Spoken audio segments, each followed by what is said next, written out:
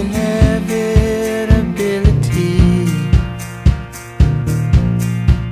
is pounding at my door, screaming for more. In a world that owes you nothing, you give everything, everything.